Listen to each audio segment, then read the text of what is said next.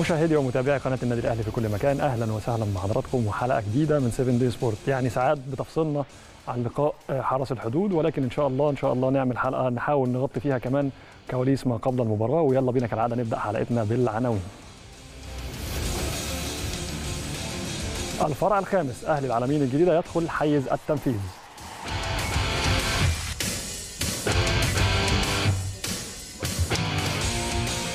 الأهلي يواجه حرس الحدود لتأمين صدارة الدوري الممتاز.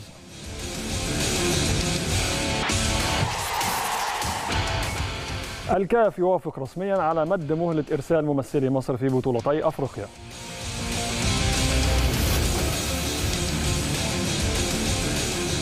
الإصابة والطرف الصناعي يهددان سواريز بالاعتزال.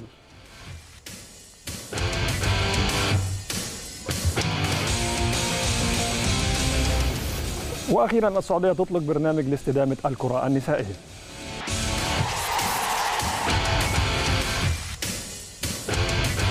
وأكيد معانا أحداث تانية كتير لكن قبل ما نبدأ حياتنا عايز أقول حاجة مهمة جدا.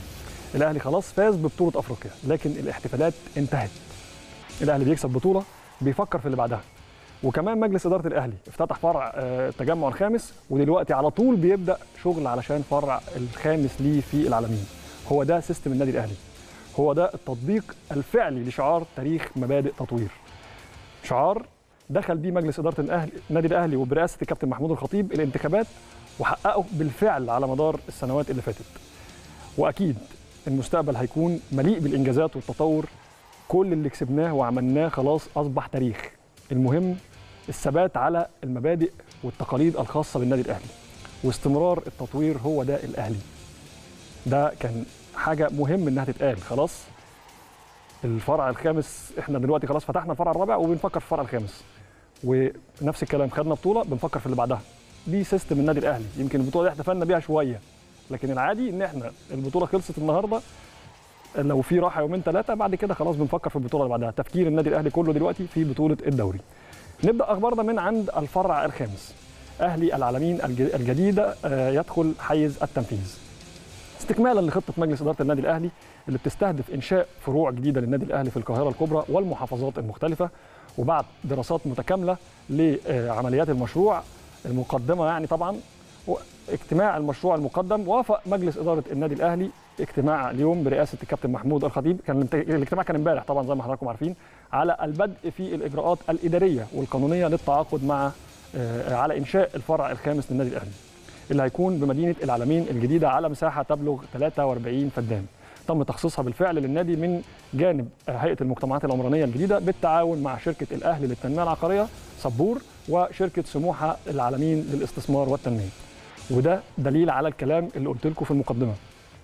وإنه مش مجرد كلام مجلس إدارة النادي الأهلي بيشتغل بكل قوة. الفرع الرابع عمل طفرة إنشائية جديدة تضاف لإنشاءات النادي الأهلي. وبالمناسبة بنشوف لحد دلوقتي كل يوم ناس كتير متقدمة على عضوية الفرع الرابع في فرع التجمع الخامس. كله بيصارع إن هو يخش وحريص إن هو ينضم لعائلة النادي الأهلي. ده شيء مهم. يعني ده شيء أنا حاسس إن إحنا زيها زي البطولات. بنخلص البطولة نخش في اللي بعدها. نفس الكلام مجلس الإدارة ماشي بنفس السيستم. بنخلص الفرع ده بنفكر في اللي بعد كده اللي هيضيف للنادي الأهلي وهيضيف لأعضاء النادي الأهلي وهيضيف لجمهور النادي الأهلي. ده الأساس بتاع النادي الأهلي. تعالوا نشوف تقرير عن الأهلي وإنجازاته في الإنشاءات وتحديث وتطوير فروعه ونرجع نكمل كلامنا.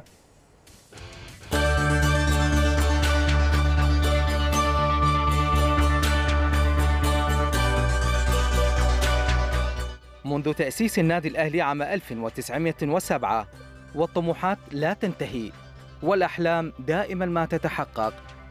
بالإصرار والعزيمة والتفاني والإخلاص من قبل الإدارات المتعاقبة لكيان القلعة الحمراء.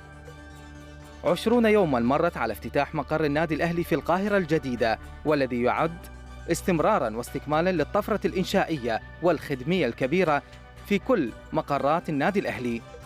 حتى زفت إدارة القلعة الحمراء بشرى جديدة بموافقة مجلسها في اجتماعها يوم أمس برئاسة الكابتن محمود الخطيب على البدء في الإجراءات الإدارية والقانونية للتعاقد على إنشاء الفرع الخامس للنادي الأهلي والذي سيكون بمدينة العالمين الجديدة على مساحة تبلغ 43 فدانا.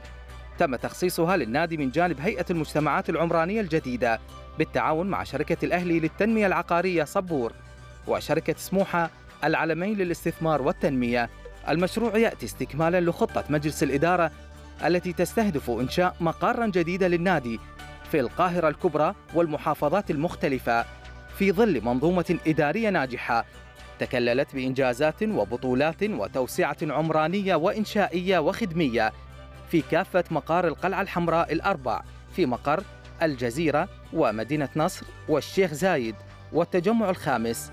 التي تتضمن مجموعة عظيمة من الإنشاءات والملاعب والبنى التحتية جعلته مفخرة لخدمة أعضائه والرياضة المصرية بشكل عام تواكبا مع الطفرة العمرانية التي تشهدها البلاد في كافة القطاعات. والسير على نهج الدولة المصرية في التنمية والتعمير والتطوير والبناء.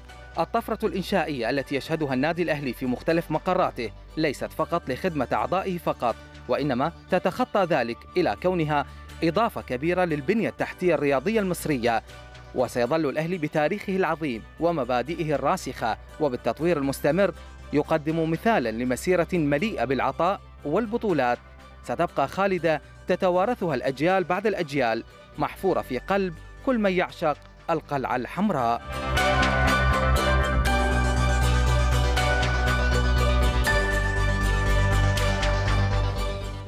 زي ما حضراتكم شفتوا طبعا الطفرة الإنشائية الكبيرة اللي حاصلة